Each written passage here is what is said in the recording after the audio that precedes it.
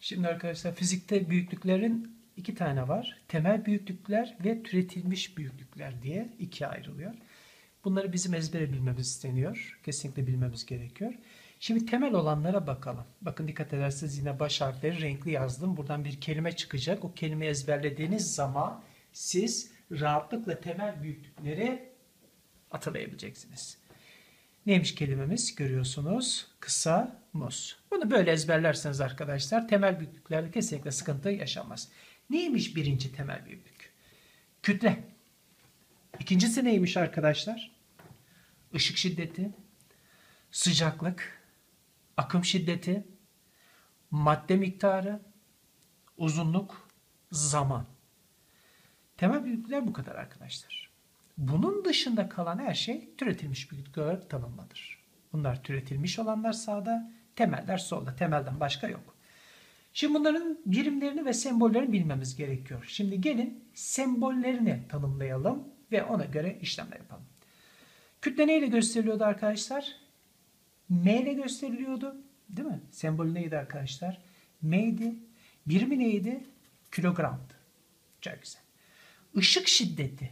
Arkadaşlar ışık şiddeti neyle gösterilir? I ile gösterilir. Birimi kandelladır. Kandella. Sıcaklık. işte en önemli yere geldik. Şu sıcaklık çok karışıyor arkadaşlar. Acayip bir şekilde karışıyor. Buna dikkat edin. Sıcaklığın sembolü neydi arkadaşlar? K ile gösteriyoruz. Yani sıcaklığı K ile gösterelim. Ne alacaksınız arkadaşlar? Kelvin. Yani bunun birimini Kelvin almak zorundasınız. Anlaştık arkadaşlar? Sakın unutmayın. Sıcaklığı birimini kesinlikle Kelvin almak zorundasınız. Sıcaklığı sembolize etmek isterse T ile tanımlarsınız. Çünkü biliyorsunuz T sıcaklığı gösterir. Akım şiddeti. Neydi arkadaşlar akım şiddetinin? Sembolü neydi? I'dı. Biliyorsunuz sembolü I'dı bunu tanıyoruz. Birim neydi? Amper. Neyle tanımlayabiliyoruz? A ile tanımlıyoruz. A diyoruz kısaca. Madde miktarı. Birim ne? Mol. Neyle gösteriliyor? Kısaca yine mol ile gösteriliyor. Sembol olarak da mol yazıyoruz. Uzunluk. Birimi neydi arkadaşlar? Uzunluğumuzun birimi neydi? Metre. Birimi sembolü M ile gösteriliyor. Birimi metre. Dediğim gibi bu yerlerin karışık olmasına takılmayın arkadaşlar. Burada önemli olan birimleri tanımanız. Zaman neydi? Saniyeyle gösteriliyor. Birim olarak neyle gösteriyorum? S ile gösteriyorum. Kısaca S harfini kullanıyorum. Kısaca kütlemiz neymiş arkadaşlar? Kütlemiz kilogram, ışık şiddetimiz kandella, sıcaklığımız Kelvin, sakın sakın unutma. Akım şiddeti amper, madde miktarı mol, uzunluk metre, zaman saniye. Bunlara çok dikkat ederseniz sıkıntı yaşamazsınız arkadaşlar. Temel büyüklükler bunlar.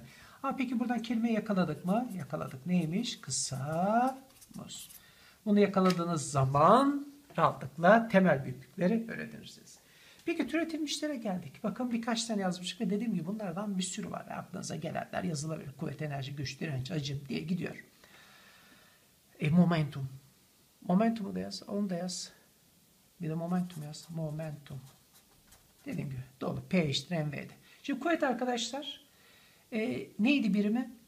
Newton. Sakın unutma. Enerji Joule. Güç.